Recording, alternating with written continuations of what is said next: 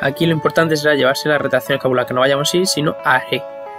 Y ya directamente, manteniendo eso, buscamos hacer el empuje.